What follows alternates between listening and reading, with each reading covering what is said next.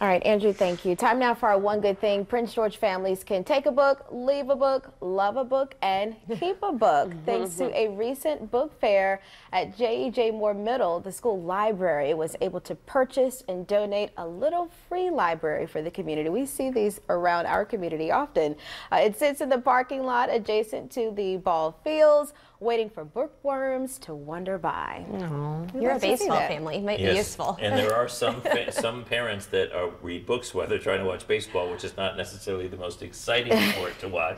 Breaks in the action, walk walk over to the little library. Anyways, That's a great idea. Well, hopefully you all have a great start to your day. We're glad that traffic's improving and the rain's going to move out eventually. Have a good one. day.